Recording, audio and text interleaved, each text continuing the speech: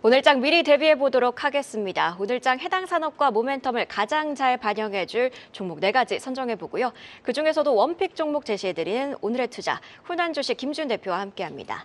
자, 김지훈 대표님 오늘 어떤 종목, 네 종목 주목해 보면 좋을지 선정해 주시죠. 네, 오늘도 좀 다양한 업종에서 가져왔는데요. 첫 번째는 JYP입니다. 최근에 엔터주가 조금 약 어, 주, 추세가 하락됐다기보다는 약간의 소강 국면인 것 같습니다. 그런데 어, 주가 약세를 보였던 엔터주가 다시 조금 이제 상승의 가능성이 높아진다고 보는 게 주요 아티스트 활동 부재가 2분기에 좀 있었지만 이제 다시 하반기에 어, 아, 아티스트의 활동이 재개될 거라 보고 있고요. 일본 시장을 필두로 해외 시장에서 다양한 어, 콘서트와 앨범 발매가 좀 예상이 되고 있습니다. 어, JYP만 해도 주가 하락률이 20%에 달했는데요. 최근에 다시 상승세로 전환하면서 엔터주에 다시 긍정적인 모멘텀이 나타나고 있고요. 어, 엔터 어, 아티스트의 활동 공백이 대거 좀 회복이 될, 될 것이라고 보고 있는 이유가 이제 그 SM 같은 경우는 라이즈가 데뷔하면서 어, 에, 라이즈가 데뷔하자마자 초도 물량을 100만 장 넘게 팔았고요. 스트레이키즈가 지금 일본 앨범 발매를 예상을 하고 있습니다. 그래서 어, 스트레이키즈가 일본의 오사카의 돔투어를 진행할 것으로 예상을 하고 있고요. 그리고 일본 현지 걸그룹으로 만든 니주가 지금 단독 아레나 투어에 이어서 스타디움 투어까지 예상을 하고 있습니다. 그래서 어, 트와이스 12월 달에 일본 콘서트까지 일본에서 일단 모멘텀이 좀 발생할 걸 보고 있고요. 일본이 굉장히 지금 그 현지 아이돌을 지속적으로 데뷔하면서 또 새로운 일본이 또 cash cow로 나, 타나고 있습니다. 네, 두 번째는 삼양식품인데요. 상반기에 역대 최대 실적을 기록했고 다른 여타 어, 식품주랑 다르게 굉장히 가파르게 주가가 상승했습니다. 한 62% 정도 상승했는데 아직도 좀 상승 여력이 남아있다고 보는 거는 이제 그 기업의 이익 체력이 굉장히 그 level up되고 있습니다. 지금 3, 4분기에도 역시나 수출 실적을 바탕으로 굉장히 호실적을 기록할 것으로 예상하고 있고요. 음식료 업종에서 대다수의 어, 증권가에서 지금 최선의 업종으로 꼽고 있습니다. 목표 주가도 지속적으로 상향이 좀 되고 있고요. 그래서 시가총액이 지금 1조 5천억 정도까지 지금 회복이 되, 됐고요. 그런 그런 측면을 봤을 때는 외국인 투자자의 굉장히 긍정적인 매수세. 삼양식품만 지금 600 한 90억 정도로 매수했습니다. 반면에 뭐 오뚜기라든지 어, 농심 같은 경우는 오뚜기 같은 경우는 한 85억 정도를 순 매도한 거랑 어떤 차이가 굉장히 큰 차이가 좀 있다고 보고 있고요. 매출은 어, 전년 동기 대비해서 한 25% 정도 증가할 것으로 보고 있고요. 3분기 말씀드리는 겁니다. 영업이익 같은 경우도 한 30% 정도 어, 증가가 예상하고 있습니다. 어, 미국과 중국 그리고 일본 그리고 인도네시아 법인까지 추가로 확대되면서 굉장히 글로벌 법인화가 어, 체계적으로 늘어나고 있고 25년도에 밀양에 또 추가 신공장을 증설해서 해외 생산량을 어, 적극적으로 좀 확대할 것으로 예상을 하고 있습니다. 네, 세 번째는 SK 가스입니다. LPG를 수입하거나 저장하거나 판매 그 압도적으로 국내 시장 점유율 40%대를 꾸준히 유지하고 있는 회사입니다. 근데 이 회사 같은 경우는 24년 하반기에 어, LPG와 L, L, LNG가 아닌 아 LPG가 아닌 LNG 저장 수송이 가능한 코리아 에너지 터미널 어, KET 운영을 시작으로 LNG trading 쪽으로도 상업 영역이 확대될 것으로 최근에 어, valuation 재평가 기대감이 굉장히 큰 상황입니다. 그래서 SK가스가 LNG 시장까지 진출하면 LPG와 LNG 모두 SK가스가 어, 완전히 석권할 것으로 보고 있고요. 최근에는 수소 관련된 모멘텀이 다시금 좀 부각받을 것으로 예상을 하고 있습니다. 롯데케미칼이랑 수소 합작법인 SK 에너루트를 출범했는데요. SK 에너루트 같은 경우가 지금 수소 연료전지 기기를 사용한 다음에 그 발전 후 전기를 재판매하는 사업 구조이기 때문에 이게 빠르면 24년 하반기 어, 늦어도 25년 초에는 어, 매출을 예상하고 있습니다. 왜냐하면 2030년까지 수소 충전소 100개를 목표로 하고 있는데 기존의 인프라 기존의 LPG 충전소 이, 인프라를 그대로 수소 충전소로 전환할 수 있다는 굉장히 큰 장점이 있다고 말씀드리겠습니다. 네 번째는 파크 시스템즈인데요. 글로벌로 반도체 투자가 감소하면서 어, 대부분의 장비 업체들이 역성장, 실적의 역성장을 경험하고 있습니다. 뭐 원익 IPS, KC텍, 테스, PSK, 테크이, 이오테크닉스 어, 대부분의 회사들이 매출액이 줄었는데요.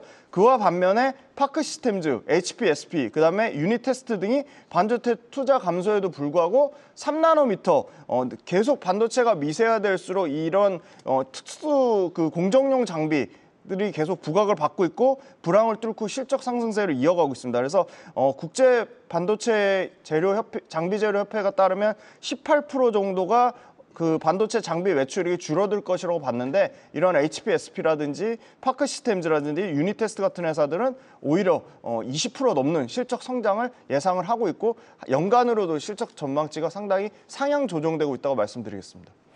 네, 이렇게 다양한 섹터에서 다양한 모멘텀을 선정해 주셨는데요. 이번에는 IBK 투자증권 정경민 팀장님께 여쭤보도록 하겠습니다. 오늘 네 종목 어떤 종목 가지고 오셨나요? 네, 뭐 시장 시황 전체적으로 좀 무겁다 보니까 좀 개별적인 성격을 띤 종목들을 위주로 좀 선별을 해봤습니다. 어, 첫 번째는 삼성화재를 좀 골라봤습니다. 뭐 늘 이맘때 생각나는 어, 것이 이제 배당 투자라고 볼 수 있겠죠. 이미 제법 주가가 올라오기는 했습니다만 뭐 2조 대 순이익과 20% 아, 40%대 배당 성향을 감안할 때 현재 배당 시가 수익률로 봤을 때는 6% 이상이 좀 가능하지 않을까 기대 수익률을 가져갈 수 있, 겠고요 다른 금융주도 마찬가지입니다만 삼성화재가 올해 어, 순이익 증가율이 좀 가장 좀 좋은 종목 중에 하나였고 어, 그렇다 보니까 조금 더 좀 선호도를 좀 가져가도 좋지 않을까 생각이 듭니다. 자본이익 6%와 배당 수익 6%를 선택적으로 가져갈 수 있는 것도 매매에 좋은 그런 전략이 될 수 있지 않을까 해서 오늘 첫 번째 종목으로 삼성화재를 꼽아봤고요. 어, 두 번째 종목은 어제 소개를 해드렸던 종목 을 다시 한번 소개해 드립니다. 세방전지인데요. 뭐 지금 현재 실적과 수급, valuation, 모멘텀까지 모두 되는 어, 몇 안 되는 2차 전지 종목 중에 하나가 아닌가라는 생각이 듭니다. 안정적인 이제 로켓 배터리, 이게 축전지죠. 여기에 현금 창출력에 세방 리튬 배터리의 성장성 그리고 연간 1천억 대의 영업이익 가능성에도 아직 뭐 시가총액 어, 8천억 대에 좀 머물러 있습니다. 최근 좋은 수급들을 감안을 했을 때 어, 신고가 쪽으로의 그런 모멘텀을 한번 기대해봐도 좋지 않겠나 라는 차원에서 두 번째 세방전지를 어, 선병, 선정해봤고요. 어, 세 번째 종목은 SAMG 엔터입니다. 뭐 최근 좀 수급이 좀 굉장히 좀 좋았고 어, 또 이제 악재가 좀 일단락됐기 때문에 선정을 좀 해봤습니다. 뭐 미취학 아동들한테 선풍적인 인기죠. 뭐 그래서 뭐 우스갯소리로 새로운 뭐 등골 브레이커다 뭐 이런 얘기가 좀 있는데요. 어, 티니핑 IP로 뭐 상품, 애니메이션, 교육, 공연까지 확장성을 지금 대거로 좀 보여주고 있는 대표적인 캐릭터 사업자입니다. 이 외에도 뭐 미니 특공대나 룰루팝 같은 IP의 확장성도 좀 충분히 보유하고 있고요. 어, 테마파크와 테마스토어 등 이제 온라인과 오프라인 모두 어, 확장을 할 수 있는 그런 계획도 순차적으로 진행될 예정이기 때문에 어, 바닥권 2만 원대를 확인 후에 올라오는 어, 주가의 어떤 반등 모멘텀은 지속되지 않을까라는 차원에서 세 번째 SAMG 엔터를 어, 선정을 해봤고요. 어, 마지막 종목 은 제가 뭐 한 달 전쯤에 좀 언급을 드렸던 종목입니다. 자람 테크놀로지인데요. 어, 통신주 강세에 좀 편승할 수 있을 가능성이 있는 종목으로 좀 생각이 듭니다. 어, 통신 반도체 설계 팹리스 기업이에요.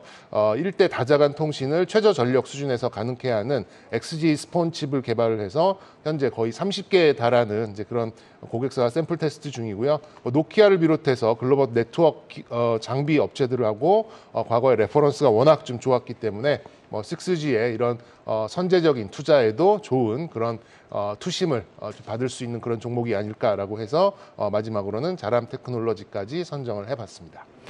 네, 이렇게 삼성화재, 세방전지, SMG엔터, 자람 테크놀로지 네 종목 만나봤는데요. 그렇다면 이 네 종목 중에서는 어떤 종목을 one pick 종목으로 가지고 오셨나요? 네, 뭐 어제 이어서 두 번째 또 소개한 데는 좀 이유가 있다고 좀 생각해 주시면 좋을 것 같아요. 세방전지를 가지고 왔습니다. 어, 말씀드린 대로 뭐 70년간 뭐 로켓 배터리 모르시는 분들 거의 없으실 것 같아요. 뭐 차가 있는 분들이라면요. 어, 축전지 전문 업체인데 어, 작년부터 100% 자회사로 볼 수 있는 어, 세방 리튬 배터리의 EV용 어, 배터리 팩을 중심으로 수출, 현지 생산 등으로 올해는 이제 흑자 전, 전환이 어, 성공을 했고요. 어, 작년부터 이제 전기차 모듈, 그다음에 BMS 생산을 시작해서 어, 기업의 과거와 현재와 미래가 어, 확실한 이제 그런 종목이 아닌가라는 생각이 들었습니다. 어, 축전지는 이제 오랜 그런 업력으로 이렇게 성장성이 높진 않습니다만 워낙 마진이 좀 좋기 때문에 충분한 자금력에서 신사업으로 어떤 이제 투자가 좀 가능했고요. 올 4분기부터는 그랜저 EV 모델의 8년간 6천 대 이상의 납품이 확정되면서 향후에도 지속적인 그런 reference를 쌓아갈 수 있을 걸로 예정, 예상하고 있습니다. 어, 상반기에는 영업이익과 순이익 모두 400억 대 중반의 굉장히 좋은 실적을 냈습니다. 그리고 수출에 필요한 어, 운송 비용이나 각종 부품과 소재 가격의 안정으로 어, 연간 뭐 천억 이상의 어떤 실적을 기대해 볼 수 있는데 말씀드린 대로 지금 시가총액이 8천억대이기 때문에 뭐 적어도 조단위 시- 시가총액 진입은 그렇게 어렵지 않을 것 같다라는 생각이 들었습니다. 기술적으로도 뭐 2차 전지 전반적으로 굉장히 좀 약세죠. 근데 유일하게 신고가 부근에 있는 것은 다 그만한 이유가 있지 않을까라는 생각이 들고요. 역시 이제 기대감에 이제 가져가는 주가와 수치가 나타내는 팩트는 이런 데서 좀 차이가 나지 않나 개인적으로 이렇게 좀 생각하고 있습니다. 수급도 좋고 어, 일부 차익 실현 이후에는 다시금 어, 신고가의 모멘텀을 좀 기대해 볼 수 있을 것 같고요. 어, 매수가는 뭐 현재가 정도도 무난해 보입니다. 그리고 어, 목표가는 일단 한 8만 원 정도로 좀 놔도록 하겠고 어, 손절가는 종가 기준으로 5만 5천 원을 이탈했을 경우 어, 리스크 관리에 신경을 쓰시면 될 것 같습니다. 네, 이렇게 정경민 팀장님의 원픽 종목 만나봤고요. 바로 이어서 김지훈 대표님께 질문 드리도록 하겠습니다. 어떤 종목 원픽 종목으로 가지고 오셨나요? 네, 파크 시스템즈인데요. 최근에 반도체 기업 투자 축소에도 불구하고 상반기에 호실적을 기록했습니다. 원래는 이 회사도 하반기가 더 실적이 좋아지는 패턴인데 상반기에 이미 굉장히 좋은 실적을 나타냈습니다. 그래서 압도적으로 하반기 매출액이 어, 상반기보다 큰 예, 오히려 지금 상저하고 패턴을 깼다는 점에서 좀 의의가 있고요.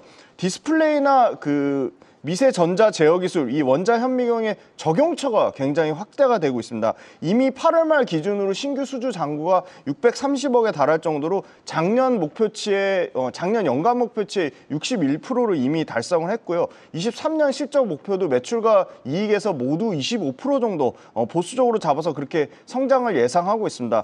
EUV 마스크 리페어 장비 쪽에 기대감이 큰데요. EUV 마스크 같은 경우는 개당 10억 원이 넘는 엄청 고가의 장비이기 때문에 결함이 생긴 제품을 오히려 수리해서 사용하는 것이 유리한데 그래서 지금 EUV 마스크 리페어 장비가 다시금 좀 부각이 부각을 받을 것으로 예상하고 있고요.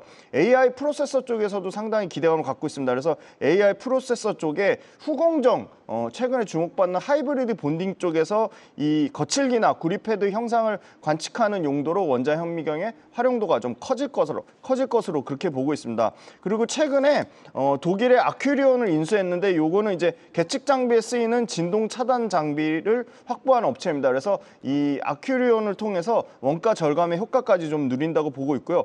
계속 지금 반도체 공정 미세와 선단 공정이 계속 주목을 받고 있습니다. 그러면 당연히 원자 현미경의 선단 공정에 들어가는 검사, 검사 장비는 수익성과 성장성이 모두 증가할 수밖에 없다. 그래서 그게 계속 지금 숫자로 찍히고 있다고 말씀드리겠습니다. 네, 이렇게 김지훈 대표님의 원픽 종목까지 만나봤습니다.